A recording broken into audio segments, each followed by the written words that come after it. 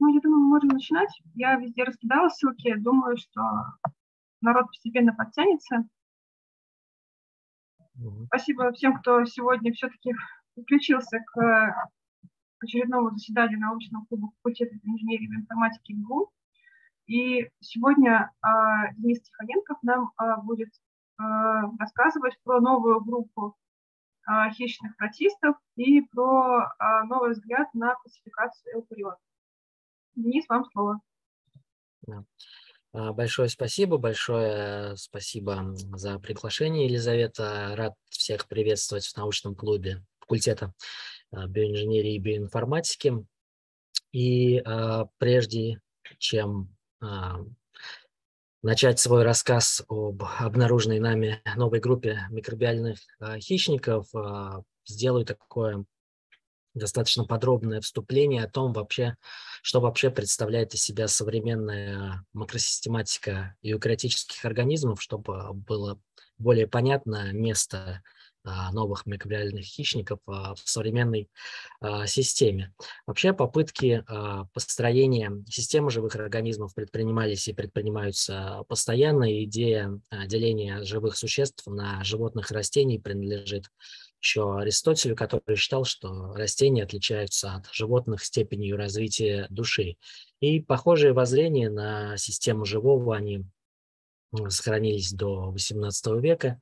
А, Линней а, также делил живые организмы на два царства а, – вегетабели и анималия. Однако уже тогда стало ясно, что между животными и растениями нельзя провести четкой разницы из-за наличия фотосинтезирующих организмов, например, и в глены, но подвижных организмов, или же неподвижных, как растения, но а, гетеротрофных существ, такие как грибы и губки. И поэтому начались попытки выделения а, грибов или одноклеточных в третье царство, и так в 1821 году Фрис выделил в отдельное царство грибы. И понимание того, что Одноклеточные протисты, они вообще появились на Земле раньше других. Прото, собственно, означает первый, естественно, они а, примитивнее крупных а, многоклеточных форм.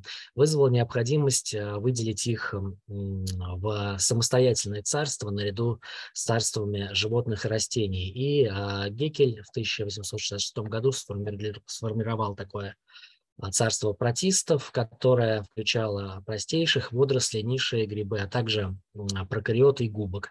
И до конца 60-х годов прошлого века в качестве третьего царства разные авторы выделяли и грибы, или протисты, а иногда и а, прокариот. И уже в 20 веке Уитекер в 1969 году предложил систему из четырех царств, в которой простейшие водоросли и низшие грибы они а, образуют самостоятельное царство а, протистов, и при этом протисты а, представляют собой переходную группу от переходную группу от прокариот к многоклеточным.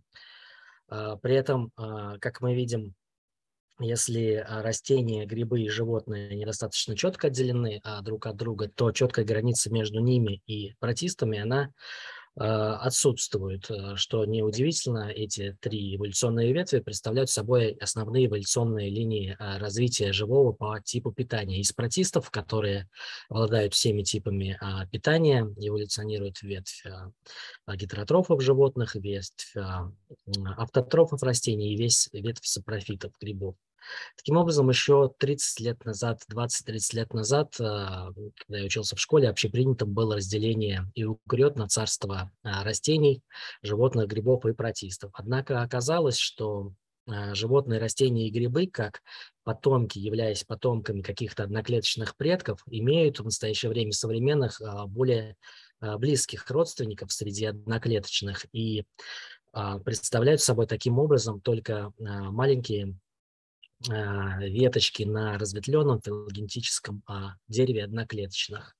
И а, современная молекулярная филогенетика, в основном благодаря изучению микробных и угрет, она значительно изменила представление о древе жизни, в результате чего сформировались такие широкие таксономические образования, которые называются супергруппами. Это, например, апистоконты, криптисты, гаптисты, архипластиды. И вот эти супергруппы, они а, превосходят или включают в себя традиционные царства а, животных, грибов и растений и охватывают а, гораздо большее разнообразие эукариот. Вот здесь я изобразил а, схему эукариотического дерева современное со, согласно последним а, а, макросистемам и новым находкам. И вот если посмотреть на эти а, а, небольшие картинки, то а, сразу можно видеть, что большинство филогенетических ветвей а, а, древа юкариот, оно представлено как раз-таки простейшими организмами, в основном жгутиковыми. И мы видим, что большинство эукариот относится к одному из двух доменов. Это аморфея и диафоретикис. Домен аморфея или аморфный, или иначе их называют юниконты – они а, включают супергруппу а, апистокон. Сюда входят, например, все многоклеточные животные и многие грибы, а, бревят и апузазей. И вместе с ними они именуются абазоа. А, а также а, супергруппа амибазоа.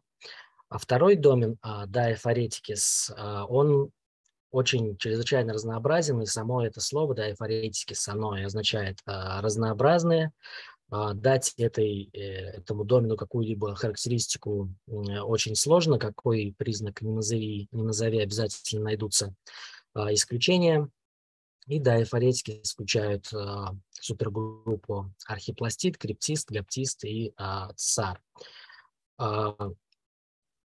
Хорошо известная и ранее общепринятая группировка эукариот экскаваты сейчас является, вероятно, не а, монофилетической вместе с группой Крамс и несколькими другими а, эволюционными линиями протистов, они составляют а, филогенетические линии эукариот пока не определенного положения. И следует подчеркнуть, что гетеротрофные жгутиконосцы среди простейших а, к которым относятся и проворы, новая супергруппа, о которой пойдет речь в дальнейшем, они часто формируют а, базальные эволюционные линии супергруппы или же формируют независимые одиночные ветви, которые сестринские крупным а, суперкластером, и они представляют собой таким образом важнейшие глубокие а, линии эволюции. И нужно сказать, что гетеротрофные жгутиконосцы – это не таксономическая группа, а сборная полифилетическая, такая сборная солянка из неродственных протистов, которые имеют э, жгутик или жгутики, по крайней мере, на одной из стадий жизненного цикла и характеризуются э, гетеротрофным а, питанием. Э, ну, теперь давайте кратко пройдем вот по этому дереву и познакомимся с, с основными представителями протистов, чтобы понять место а, провор среди них. И первая а, супергруппа эукариот – это апистоконты, а, или заднежгутиковые организмы с единственным задним жгутиком, который присутствует хотя бы на одной из а, стадий жизненного цикла. А, это чрезвычайно разнородная группа, которая включает всех многоклеточных животных или метазоов в пределах холозоа, а также высшие и низшие грибы в пределах холомикота, ну и несколько групп простейших, а, которые, вероятно, иллюстрируют анцестральное предковое состояние того одноклеточного организма, а, от которого произошли а, по одной эволюционной ветви многоклеточные животные, а по другой грибы. Ну, среди наиболее известных а, пестокодных простейших это воротничковые жгутиконосцы или хронофлагелляты, которые являются а, ближайшими а, родственниками метазоа или всех многоклеточных животных. Следующая а, эволюционная веточка небольшая, апуза монодида, и вот представитель ее здесь на видео у нас ползает, такие забавные а, слонята, а, они населяют морские и пресные воды, а также почвы. Очень их легко отличить от других протистов в пробах, поскольку они имеют такой интересный хоботок, внутри которого а, проходит жгутик. Следующая линия простейших называется бревиатея. К ней относятся амебоидные организмы с очень таким длинным и направленным вперед апикальным жгутиком. Эти организмы являются анаэробами или микроаэрофилами, и у них отсутствуют настоящие митохондрии. Следующая э, группа эукариот в пределах аморфея – это амебазоа, которая главным образом объединяет огромное разнообразие лабозных амеб, всем известных, также некоторые группы раковинных амеб, например, арцел. А, однако тут нужно тоже заметить, что некоторые а, амебозои имеют а, жгутик, например, архамеба, мастигамеба, то есть являются таким образом амебофлагелятами. Двигаемся дальше. Супергруппа архипластид, которая объединяет красные водоросли, зеленые водоросли и высшие растения, а также глаукофитовые водоросли. Ну, понятно, что архипластиды играют огромную роль в биосфере, и название в буквальном смысле означает организмы, несущие древние первичные пластиды. Пластиды их имеют симбиотическое происхождение, и произошли они в результате симбиоза древних эукариот с цианобактериями.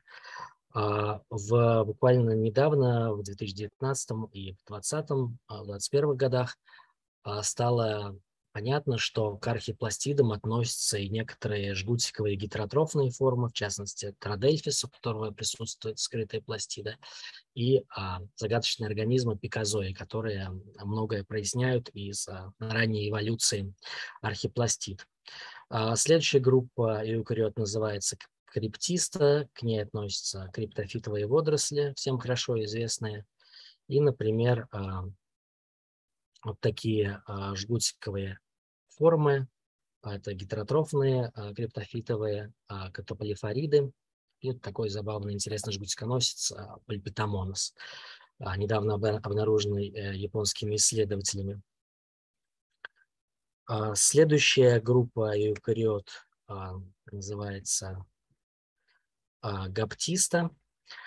А, она включает гаптофитовые водоросли и центрохилидные солнечники. Вот здесь представлена фотография а, центрохилиды. И не буду на ней останавливаться, но вот интересным является то, что возможным родственником гаптофитовых водорослей является жгутиконосец анкарациста, обнаруженный нами протист, о котором я сейчас расскажу чуть подробнее, поскольку история про вор, она, собственно, начинается с обнаружения нами а, анкарацисты. А, когда-то а, несколько лет назад я был на постдоке в Канаде, в Университете Британской Колумбии. В качестве лирического отступления расскажу историю при организации своего рабочего места мне сказали, ну вот можешь взять этот стол, Правда, там находятся старые чашки Петри с пробами, которые оставил а, после себя предыдущий постдок Алексис Холл, которая вернулась в Великобританию. Она отбирала пробы, а, ассоциированные с, кораллами, ассоциированные с кораллами из а, морского аквариума в Сан-Диего изучала сибиотов кораллов. Ну вот остались а, почти высохшие чашки Петри, просто выбрось их, и будет чистое рабочее место. Тут, не знаю почему, захотелось э, в этих почти высохших э, чашках проверить, что там, может быть, интересное осталось. И действительно, в одной из чашек э, Петри обнаружились такие интересные клетки. Сначала мы их назвали twirling disk или вертящиеся клетки.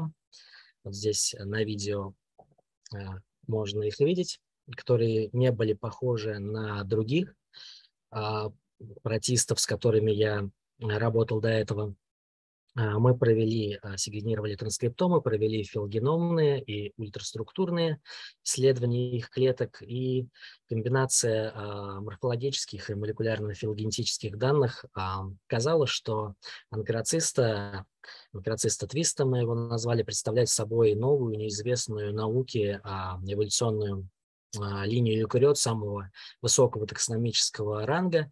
Правда, точное а, филогенетическое положение тогда установить не удалось, а, но как мы тогда предполагались, вероятно, она давала сестринскую линию к гаптистам. И также эта анкроциста характеризовалась уникальной морфологией, и включая наличие в клетке стрекательных органелл нового для науки типа, который мы назвали, собственно, анкроциста. Она состоит из такой амфоровидной структуры с семью цилиндрами внутри и якоревидной головки, которая, собственно, используется для атаки на эукариотическую жертву. Этот организм является хищником и поедает других простейших. И э, эта находка в свое время привлекла большое внимание э, масс-медиа. Э, например, анкроциста попала э, в топ-10 новых видов 2018 года, открытых в этом году вместе с некоторыми видами растений э, и животных. Этот список был обнародован CNN 23 мая, э, в день рождения э, Карла Линнея. А, двигаясь дальше по дереву, а, мы видим супергруппу, да, к анкроцисте мы вернемся еще позже, а двигаясь дальше, мы видим супергруппу а, ЦАР, которая еще недавно называлась САР, имела такую аббревиатуру. Это аббревиатура от трех таксонов стробинопилы, альвеоляты и ризарии. А, к строминопилам, например, относятся бурые, а, диатомовые водоросли, золотистые водоросли и вообще все гетероконтные или а, разножгутиковые водоросли. Ну, также некоторые гетеротрофные формы, некоторые грибоподобные организмы, например, оумицеты, это, например, фитофтора, паразит картошки, тоже являются строминопилой. Вторая буква А – это альвеоляты, а, их, этих простейших объединяет то, что вот под их клеточной мембраной лежат альвеолы, и к альвеолятам относятся всем хорошо известные инфузории, например, а, динофлагеляты и а, апенкомплексные паразиты или споровики, куда относятся, например, малярийный плазмодий. И, наконец, ар, резария, к ним относятся из широко известных представителей, это фораминиферы и радиолярии. Вот недавно нами было произведено исследование а, а, жгутиконосцев телономид. Это хищные организмы с двумя направленными вперед жгутиком и жгутиками и очень сложным цитоскелетом. И оказалось, что они а, формируют сестринскую эволюционную линию по отношению к таксону САР. И таким образом а, САР превращается в Ти-САР или ЦАРь. А, получилась такая интересная новая аббревиатура э, царь эукариот. Следующая эволюционная линия называется хемимастигофора, которая относится химимастикс. Э, очень интересный организм и интересная история за ними стоит. Вообще а, хемимастикс, как вы можете видеть по этой картинке, а, более всего напоминает инфузорию и вообще протестологи и целиатологи, ни у кого из них не было сомнений, что этот химимастик является а, одним из таксонов а, инфузории. Он был, а, этот организм известен еще с конца XIX века. Были получены морфологические данные, которые, в принципе, не отвергали вероятную филогенетическую позицию данного организма внутри инфузорий, а, но молекулярных данных никаких не было, и они а, были получены достаточно случайно. А, э, канадская исследовательница Яна Иглит, у нее российские корни, она во время прогулки в горах в Канаде отобрала почвенную пробу и а, ей удалось а, выделить, обнаружить, во-первых, во-вторых, выделить а, в культуру вот этот организм, похожий на инфузорию химимастикс. Благодаря наличию культуры вместе с коллегами они получили транскриптом и установили филогеномную позицию химимастикс. Оказалось, что это отдельная сиротская линия эукариот, положение которое не ясно, но, возможно, она является сестринской линией к огромному домену а, Diaphoreticus. То есть никакая это не инфузория, а что-то совершенно уникальное. А, движемся дальше и видим вот этот экскават, а, которые, как я уже сказал, вероятно, не являются монофилетичными. Почему экскаваты? Это организмы, многие представители которых имеют симметричные клетки с выраженной пищевой бороздкой, как бы выкопаны или excavated э, с одной стороны от английского, отсюда и название. И вообще эти экскаваты включают а, просто гигантское разнообразие жгутиковых протистов, которые могут быть и свободно живущие, паразитические, симбиотические, и фотосинтетические. И а, самое известное среди экскават а, в группе дискоба это, пожалуй, евглинозои, к которым относится всем известная евглена зеленая. Еще одна пока такая неясная сиротская линия эукариот называется анцеромонадиды. А, вот так они выглядят. Здесь должно быть видео. Да, вот оно пошло. А, это такие а, мелкие до 5 микрон бентосные, скользящие по субстрату клетки, которые дорсовентрально сплющены, имеют рострум на переднем конце и два неравных жгутика, первый из которых очень короткий. И последняя группа эукариот, она называется CRAMS. Это а, аббревиатура, как часто сейчас бывает в макросистематике эукариота, аббревиатура от клодикционида, а, регифилида и монтамонос. И э, все представители КРАМС до некоторой степени метаболичны, а некоторые из них э, продуцируют псевдоподий.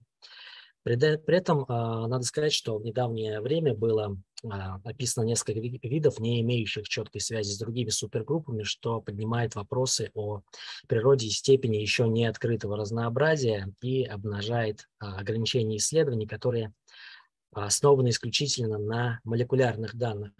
Вообще а, молекулярные исследования или метабаркодинговые исследования, в частности микробных сообществ, они привели к настоящей а, революции, а, к значительному увеличению известного разнообразия а, бактерий и архей. При этом метабаркодинговые исследования также выявили и новые эукариотические группы, однако не так много, как среди прокариот. Ну, при метабаркодинге происходит отбор проб. Из тотальной пробы воды или почвы выделяется вся тотальная ДНК, которая а, затем амплифицируются, амплифицируются маркерные гены у протистов. Это а, гипервариабельные регионы V4 и V9 а, 18 РНК. Эти а, короткие ампликоны, может быть 300 или нуклеотидов в случае V4 или порядка 100 нуклеотидов в случае V9, они секвенируются на иллюмине, и по вот этим итоговым последовательностям можно провести а, штрих-кодирование протестов, однако вот именно для эукариотических а, а, жгутиковых протистов разрешение данного метода, оно, к сожалению, невелико и зачастую не удается определить э, видовую, даже родовую принадлежность. Ну и если попадается какой-то неизвестный протист, он просто остается неклассифицированным. А, то есть есть вот такое ограничение у метабаркодингового подхода к исследованию а, разнообразия. А, также невысокая доля новых групп протистов, которые, образ... которые выявляются путем метабаркодингов, метабаркодингов, это также связано, вероятно, с тем, что большая часть эукариотического разнообразия, в отличие от разнообразия прокариот, она уже была ранее выявлена, была и ранее известна в микроскопических исследованиях, и также, вероятно, это связано с тем, что а, секвенирование природных проб, оно позволяет выявить относительно многочисленные таксоны. А редкие таксоны, их легче а, упустить из, вида, из виду, и эукариоты а, включают целый экологический класс организмов, которые, как правило, численно редки. Это хищники. А, эти более редкие, но а, чрезвычайно важные организмы, они часто оказываются сиротскими линиями на молекулярно-филогенетических деревьях протистов. И, по всей видимости, а, микробные хищники, так же, как и их собратья среди животных, они сравнительно редко встречаются в природе, однако редкость, она не исключает ни высокого уровня разнообразия, ни экологической важности, так же, как и для животных.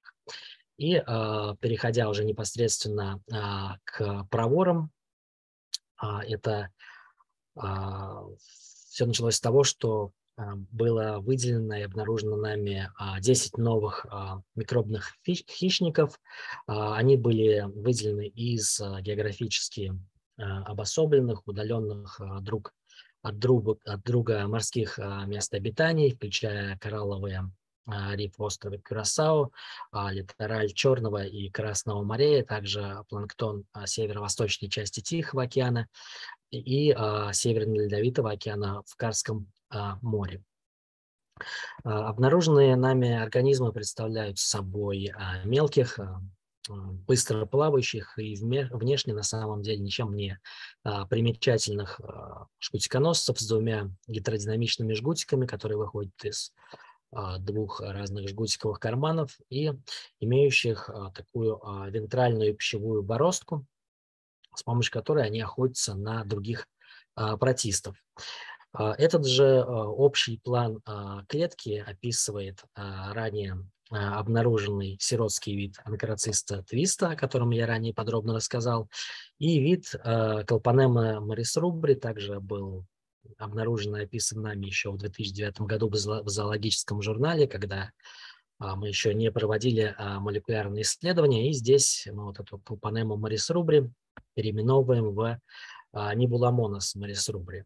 Однако это сходство вот этих всех жгутиконосцев, оно лишь а, внешнее, и эти организмы принципиально а, различаются как структурно, так и поведенчески, и, вероятно, занимают разные ниши в сообществах. Дело в том, что различные клоны этих хищников, они а, демонстрируют разные а, способы питания. Одна а, группа более мелких организмов, она питается откусывая или отгрызая части клеток от своей добычи, а другая поглощает клетки жертвы целиком. И мы назвали эти две группы одну ниблериды, от английского ниблер или кусачки, выгрызачки, а другая группа – это а, небулиды, а от латинского небулус – туманный, а, мистический. И небулиды объединяют в себя виды анкроциста твиста и небуламонус марисрубри.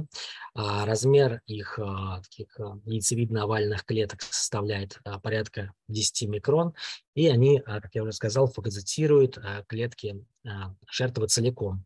А неблериды, они намного меньше а, порядка трех а, микрометров и в голодном состоянии имеют вот такие а, изогнутые серповидные клетки с отчетливым шипом или жалом, который используется для нападения на добычу. На данном видео вы можете наблюдать, как один из микробиальных грызунов, хищников, Нибелерамонос карантинус, более мелкий, он нападает на более крупную жертву, а, бодониду прокриптобиес сорокини. Вообще питание у них очень интересное. А, они, в принципе, могут заглатывать добычу целиком, если питаются мелкими какими-то а, гетеротрофными харизмонадами, например.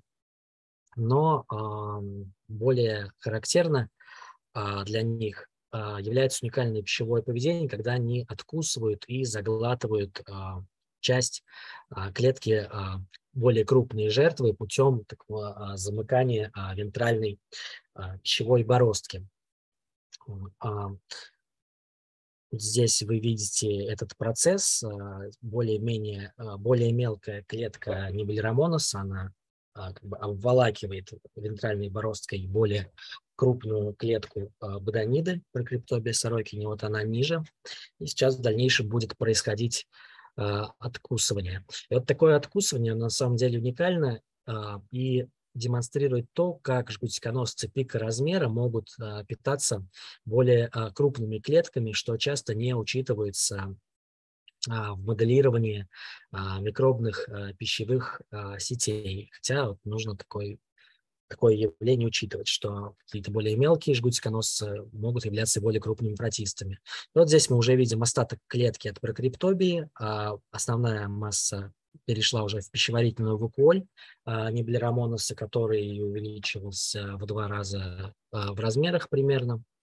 А, эти организмы очень прожорливые, в культуре они могут поглотить до 3 миллионов клеток прокриптобии буквально за один-два дня, то есть выедают всю эту жертву от которой остаются такие остаточные тела, а у а, хищных неблеромоносов формируется крупная пищеварительная вакуоль. Как же они это делают? У, прежде всего, шиповидные выросты их клеток, напоминающие жало, они содержат внутри 5-6 крупных стрекательных органелл, используемых для нападения на а, добычу. Это во-первых. А во-вторых, их вентральная бороздка, которая происходит а, закусывание жертвы, она а, армирована микротрубочками и имеет такие плотные а, осмофильные уплотнения а, зубовидные, а, которые, вероятно, участвуют, помогают в откусывании клеток более крупной добычи после закрытия вентральной бороздки. Характерными морфологическими признаками неболерит также являются крупные альвеолярные пузырьки под плазматической мембраной, их может быть один или два слоя. И, вероятно, они используются как депо мембран для формирования крупной пищеварительной вакуоли. Здесь клетка жертвы пищеварительной вакуоли окружена мембраной, и при этом альвеолы у самого хищника уже а, не так а, выражены. А, кроме того, а, характерными а, признаками неблерит являются наличие микропор между а, альвеолами и а, комплексных многослойных покровов, которые армированы таким рядом микротрубочек. И это, эти черты строения, они сближают неблерит с альвеолятными протистами.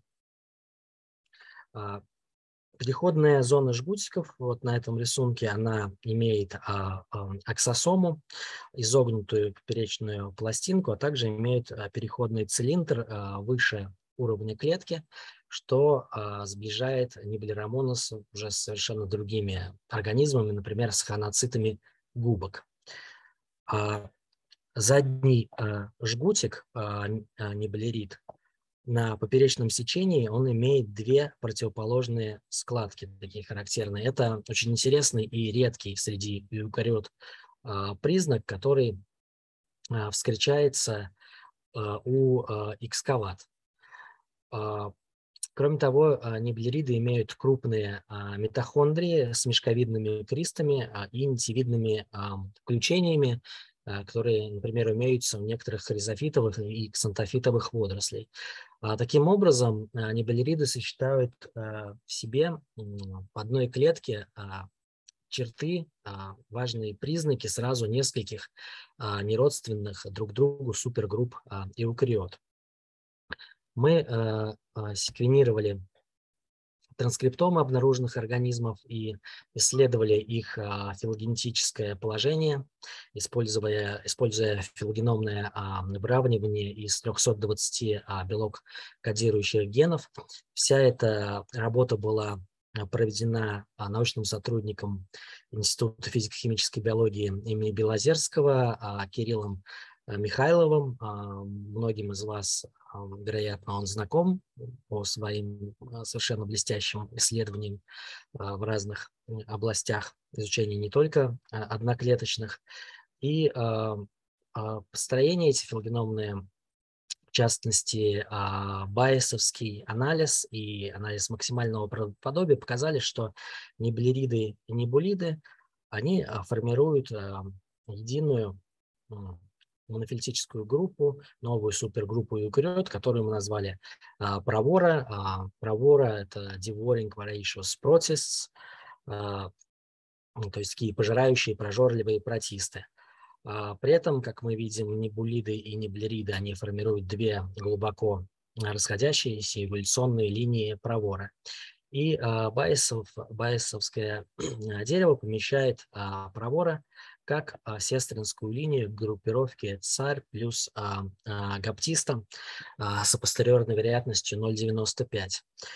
При этом а, анализ максимального правдоподобия, он, напротив, он помещает а он поддерживает а, родство пробора а, с химимастигофорами, с тем вот загадочным химимастиксом, и показывает их сестринское эволюционное положение по отношению к царь плюс гаптиста.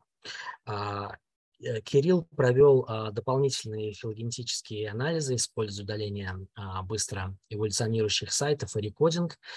И, например, с удалением до 40 процентов а, быстро эволюционирующих а, сайтов э, из выравнивания топология дерева максимального правдоподобия а, не меняется, поддерживая группировку провора с химией Мастигофора, но при исключении 50% наиболее быстро эволюционирующих сайтов меняется топология древа, показывая уже позицию провора по, а, от, а, сестринской, по, как сестринскую группу по отношению к царь плюс гаптиста с bootstrap-поддержкой 65%. То есть получается та же топология, что и на дереве филобайс. А байсовский анализ а, с рекодингом по шести состояниям показывает монофилию провора и с низкой поддержкой ее сестринскую позицию к гаптистам. А применяя рекодинг по четырем состояниям, мы получаем вообще парфилию пробора, провора и полную дестабилизацию а, филогеномного древа и неясные родственные отношения между основными а, группами внутри домена diaphoreticus. AU-тест, Approximately Unbiased, тест полного набора данных – первый столбец а, выравнивания не отрицает 10 из 63 протестированных топологий при уровне значимости 5%. А результаты этого теста становятся более строгими, когда из выравнивания исключается от 20 до 30 процентов а, сайтов, в частности, после исключения 20% а, наиболее быстро эволюционирующих а, сайтов AU-тест отклоняет а, все топологии, кроме двух. Это тех, которые были получены с помощью байсовского анализа и анализа максимального правдоподобия. То есть в целом филогеномный анализ показывает, что небулидия и неблеридия, они образуют древнюю разнообразную супергруппу юкрет провора и показывают их эволюционную пози позиционную позицию на дереве, как сестринскую линию группировки царь плюс гаптиста, возможно, также включая химию.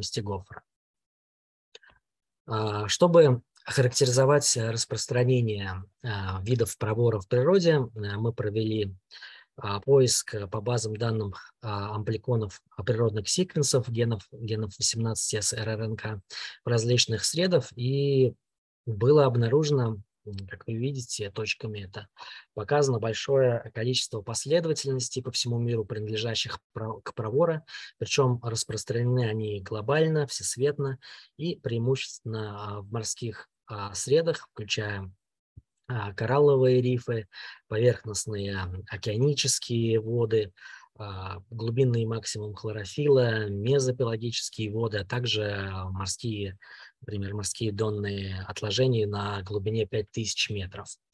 А также а, удалось обнаружить их ампликоны в солоноватых и а, пресных водах. При этом в почвах пока секвенсы провора не обнаруживаются. Вообще ампликоны провора, надо сказать, что они характеризуются низкой численностью, во всех исследованиях а, молекулярного разнообразия а, природных проб. И филогенетические дерева, деревья по В4 и В9 в 17 СРРНК показывают, что а, разнообразие провора на уровне родов и видов, оно значительно выше, чем 10, они показаны красным, а выявленных нами микроскопически к настоящему время культивируемых представителей. И, то есть, предстоит поиск, возможно, я надеюсь, в ближайшем будущем будет выявлено гораздо большее число а, родов и видов провор, которые абсолютно точно существуют в природе, и они показаны а, природными секвенсами. Тут э, нужно, важно отметить, что хотя а, метабаркодинг и высокопроизводительное секвенирование природных проб а, действительно захватывает эти организмы, но Э, филогенетические деревья, которые построены по коротким последовательностям V4, V9, 18 СРНК, они не могут а, показать их четкое филогенетическое положение. В результате а, такие природные последовательности, они постоянно ошибочно идентифицируются, аннотируются в исследованиях как неклассифицированные сиротские последовательности, а чаще просто исключаются, игнорируются из анализа а, ввиду их а, небольшого а, количества. Однако вот такие сиротские или неаннотируемые природные секвенсы могут являться, могут принадлежать каким-то новым супергруппам протистов. Мы исследовали состав генов провора, чтобы установить некоторые их основные черты и сравнить две основные группы, и функциональная аннотация генов, функциональная аннотация трофических режимов по транскриптомным данным согласуется с хищническим образом жизни провор в транскриптомах не обнаружены характерные белки а, пластид содержащих а, протистов, такие как белки а, импорта пластидного. Вот что интересно, среди белковых доменов, которые заметно обогщены у провора по сравнению с другими эукариотами, мы находим семейство мембрано-атакующих комплексов и перфориновых доменов MACPF. А, члены а, семейства MacPF, они а, очень интересны и известны преимущественно как порообразующие цитолитические белки, которые функционируют в иммунных системах животных и растений. Эти белки, например, вырабатываются иммунными клетками и встраиваются, собираются в каналы в клеточной мембране инфицированных клеток, вызывая их э, лизис. И такие белки также а, функционируют при а, инвазии клеток а, хозяев паразитическими протистами, а также присутствуют в летальных токсинах стрекательных органелл актиний, которые могут быть аналогами, аналогичны экструсомам провора. А, у человека, например, а, имеется около а, дюжины белков с этим доменом, но транскриптомы видов провора содержат до 30 белков с доменами MACPF, и надо заметить, что MACPF провора, они обнаружены в ассоциации с доменами EGF, это эпидермальный фактор роста, желтым они показаны, и многие последовательности имеют а, секреторный а, сигнальный а, пептид, что а, подтверждает и указывает на вероятное внеклеточное нацеливание этих белков. И одно из а, наших предположений, что а, белковые домены MACPF у провора могут участвовать в образовании пор а, в клетках а, жертвы и таким образом помогают вот, откусыванию кусочков а, добычи а, зубцами а, брюшной бороздки.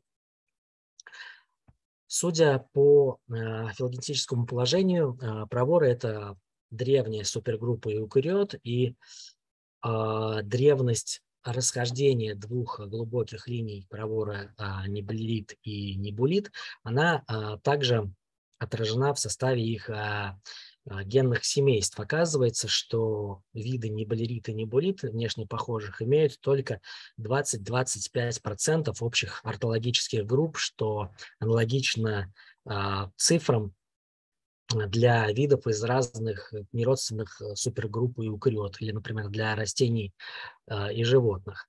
Ортологичные группы также указывают на то, что э, геномы провора относительно богатые генами, а, порядка 16-24 а, тысяч семейств. А теперь перейдем к следующему разделу. Это митохондриальные геномы провора. Этот митохондриальный э, раздел был, анализ митохондриальных генов был проведен а, моим коллегой, его зовут э, Райан Геврилак, он канадец. А, когда мы впервые познакомились, я так усомнился и спросил, ты Гаврилюк? Он такой, да, откуда ты знаешь? Интересная история. Его предки, получается, прадедушки и прабабушки, они во время революции эмигрировали еще из царской России в Канаду и как бы дали э, и основали там а, семью Геврилак. Ну, Райан, его родители, они никогда не были а, в России, но вот так мы с ним а, познакомились и сотрудничали в данном проекте. Итак, что можно сказать о митохондриальном геноме? Нужно сказать, что митохондриальный геном, он был изучен еще ранее у анкрациста Твиста, и э, он необычайно э, богат генами, как и вся супергруппа провора. Э, митохондриальный геном э, провор в целом имеет 51 э, белок кодирующий ген э, с незначительными вариациями, э, такие как э, неоднородное э, присутствие некоторых э, рибосомных белков, э, транспортных РНК и э, бактериоподобного РНПБ. И а, нужно заметить, что митохондриальные геномы а, небулит и неблерит, они имеют а, важное отличие, которое связано с комплексами цепи а, переноса электронов. Все митохондриальные геномы а, провора, они а, а, кодируют систему созревания а, цитохрома, а, цитохрома С типа 1, унаследованную от предка митохондрий, то есть от альфа-протобактерий. А небулиды, вот эти организмы, они дополнительно имеют кодируемую ядром систему созревания цитохрома С типа 3 или голоцитохром С-синтазу. И э, система типа 3, она заменила систему э, типа 1 у э, большинства эукариот. А вот э, Небуламонос марисрубри и твиста, они обладают э, двойной системой созревания цитохрома С, что является уникальным явлением среди эукариот. Это означает, что обе э, эти системы, они а, длительно сосуществовали в течение а, большого эволюционного а, периода времени, что предполагает, что сравнение митохондрий, небулит и небулерит может дать уникальный материал для анализа эволюции биогенеза цитохрома С у эукариот. В целом, как транскриптомные данные, так а, по ядерным белкам, так и митохондриальные геномы, они подтверждают родство между небулидами и небулеридами, а также подчеркивают, с другой стороны, а, глубокую, а, глубокую эволюционную дистанцию между ними, в том числе в митохондриальной геномике. Таким образом, в заключении можно сказать, что а, новые микробные хищники в совокупности образуют новую разнообразную супергруппу эукариот, названную провора. А, при этом а, провора генетически, морфологически и поведенчески отличаются от других эукариот и включают две расходящиеся клады хищников – небулидии и неблеридии. Небулидии и неблеридии внешне похожи друг на друга, но принципиально отличаются по ультраструктуре, поведению и содержанию генов. А, тип питания неблеридия, он уникален и демонстрирует, как шкутиконосцы пика размера могут питаться более крупными клетками, что часто а, не учитывается при а, моделировании микробных пищевых сетей. И э, сходство морфологических характеристик провора с представителями неродственных таксонов и эукариот, оно предполагает, что а некоторые морфологические особенности строения их клеток, они могут быть очень древними и потенциально напоминающими предковое состояние нескольких, а, нескольких крупных а, эукариотических супергрупп. Также проворы широко распространены в морских и пресноводных средах, но численно редки и, следовательно, они полностью игнорировались в исследованиях молекулярного разнообразия протистов в природных пробах и в эпоху а, высокопроизводительного секвенирования, изучения эукариотического разнообразия путем а, культивирования и микроскопии, но остается незаменимым для открытия редких, но экологически эволюционно важных эукариот, такими, какими а, являются проворы.